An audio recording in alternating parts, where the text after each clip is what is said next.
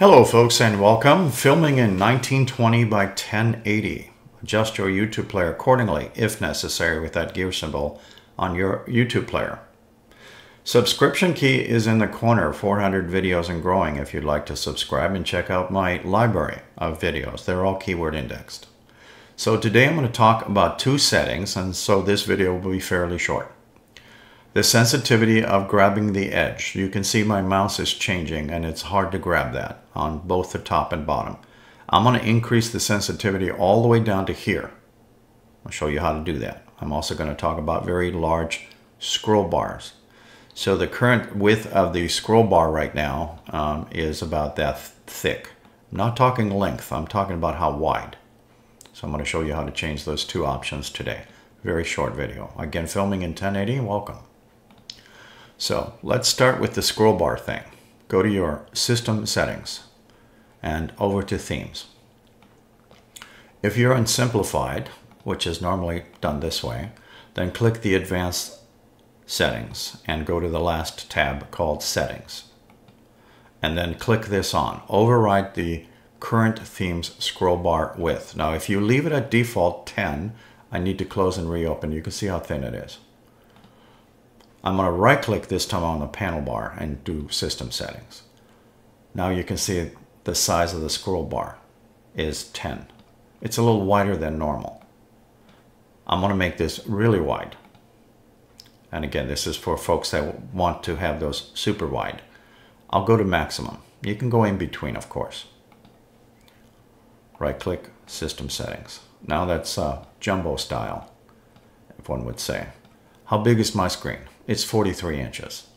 Filming in 1920 by 1080, just as one more reminder.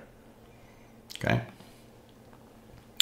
Everything is subjected to icon sizes and screen resolutions. All right. So I'm just going to give you an example of that scroll bar. And again, it's not the length, it's the width. And it's all determined by how big you make those icons. The width didn't change, but the length did. I'm just doing it the old-fashioned way. I normally don't like to do it this way. I use my control key and my computer mouse scroll wheel to resize icons on the fly. I think you'll find that quite easy if you have a computer mouse. If you're on a touchpad, it's kind of sensitive. I don't really care for those touchpads. They're way too sensitive for me.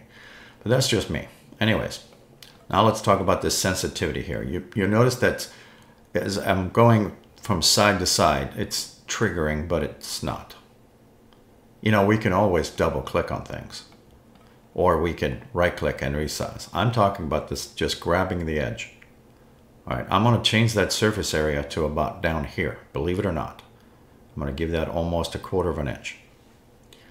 So to do that, we go to System Settings, and we scroll to an area where it is called Preferences, and Windows. Okay, previously with the scroll bar, I was in Themes. So in the Windows area, we have a, three tabs. Uh, the first one is pretty basic. It's if you wanted to move that from right to left. All right, if you ever wondered how to do that. I'm talking about the behavior. Now the behavior of the draggable border width, this part here, because I'm dragging it, right? This is default. You can see the little little line right there. If I go the other way, it's almost impossible for me to grab a hold of that. It just keeps changing. However, if I go the other way, I got a huge surface area that doesn't change anymore. Do you see how far out I am? What is that, about a half an inch? Or at least on my screen it is. So I'm going to leave it there for a second and open up the file manager in a windowed environment. And now you can see that I have a large surface area and it's not changing. I have to go almost to here for it to not trigger anymore. So from here to here, very large surface area.